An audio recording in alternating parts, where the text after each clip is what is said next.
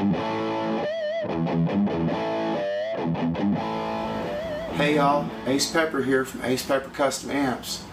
Here today to talk to you about the newest grooviest thing in the shop, the Super Sport. Uh, we're gearing up this year to do a batch of production amps uh, focusing on two models, the Super Sport here and our cleaner Roadhouse model that I'll do another demo for later.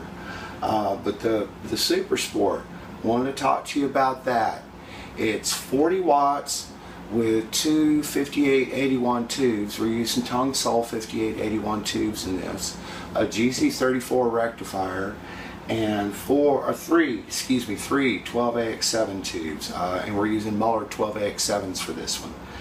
Um, this is based on the amps that I've built for years, the, the Top Fuel model and, and my personal amp and some other stuff that I've done. Um, this one has a single input.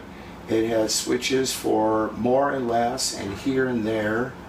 Um, gain, volume, highs, mids, and lows. Power and standby.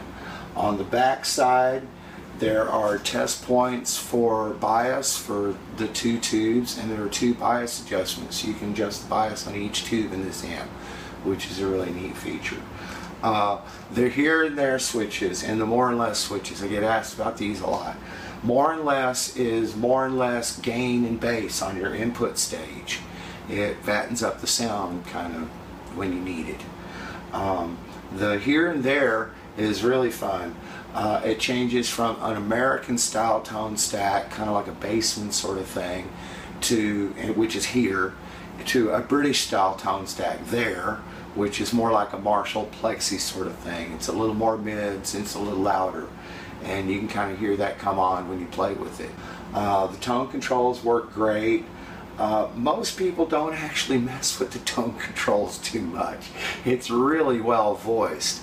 Um, today we're playing it through our new Ace Pepper Custom Amps 112 speaker cabinet which I ought to do a whole video on this speaker cabinet alone. It's really great. It's what we call a tune back design. It's an open back but the panels are really big so they form a, a small bass port on the back. So it gives it tons of low end. It fills a room real nice. It's made of solid pine and this particular cabinet is loaded with the new Austin Speakerworks uh, Peacemaker speaker. 12 inch 80 watt speaker from Austin Speakerworks. They, I think we're one of the first guys to get these things. I'm thrilled about this. This thing sounds freaking terrific. Um, anyway, I'm going to play some riffs for you, um, go through the switches, you know, dial up some different tones, and um, hope you dig it.